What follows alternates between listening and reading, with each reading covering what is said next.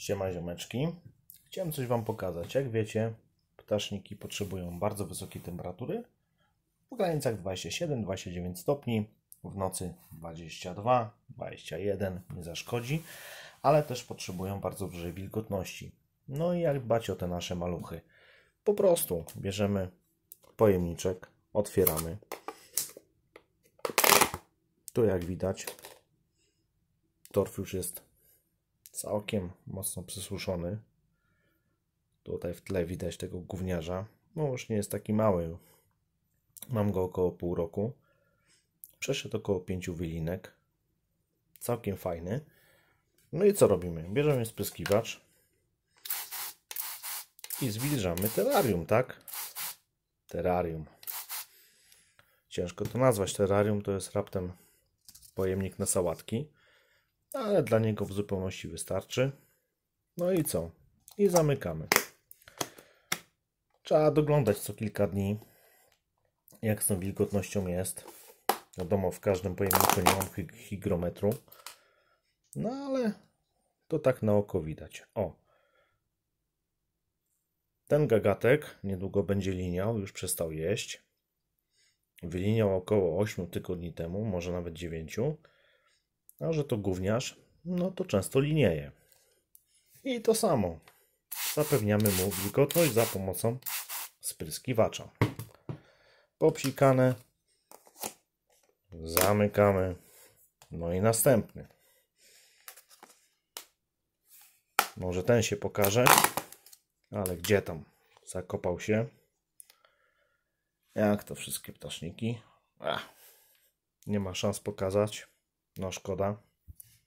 I znowu spryskiwacz. Jedziemy. Psikamy po podłożu oraz po ściankach, ponieważ pająki lubią się wspinać i te kropelki wody lubią sobie spijać. No to mamy już trzy. Teraz kolejny. No, z tym to trzeba uważać. To jest normalnie diabeł wcielony. A kurczę, aparat nie wyostrzy. A szkoda. To jest ptasznik królewski. Szybki jak diabli. Jadowity, że hej. Lubi się teleportować. No, troszkę go widać. Weźmiemy pensetę, przegonimy go do nory. Uciekaj. Tylko nie do góry. Idź sobie na dół. W takim przypadku, o, karaczan tutaj jest niezjedzony. Reszki, karmówki, wiadomo, wyciągamy. Kurde, spierdzieli. No nie. Dobra, wyciągnę go później.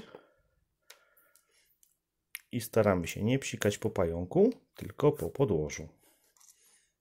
Tu widać, jaki to jest narwaniec. Spierdzieliła już mi chyba z pięć razy.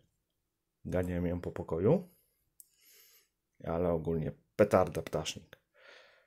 Rzekomo po piątej wylince już jest w stanie zrobić krzywdę człowiekowi. Polecam, polecam. Bardzo żarłoczne stworzenie. Nie ma z tym problemu. Tu mamy kolejnego. A, nie wyostrzy. Też już jest całkiem spory. To jest Acanthus geniculata. Jak zwykle schowana.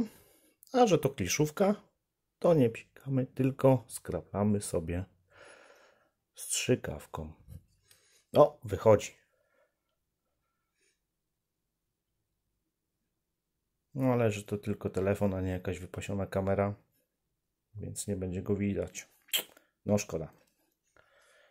No ale dobra, wilgoć żeśmy mu zapewnili. Nakarmiony był ostatnio. Także głodny nie jest. No jedziemy z następnym. Tutaj mam takiego niejadka. Brachypelma hamori. Tu mamy resztki jedzenia, to wyciągamy. To jest niepotrzebne. Co by nam nie zapleśniało. O roztocza nie jest łatwo. Znaczy nie jest trudno. Chwila, moment i problem gotowy. I to samo kropelkami strzykawką zwilżamy mu podłoże. No. Napęczniała Franca jest. Rośnie jak na drożdżach. I dobrze. No i ostatni. To jest akurat na handlu Chromatus. Najsłabszy z pająków moich. Nie chce jeść. Ciężko go karmić.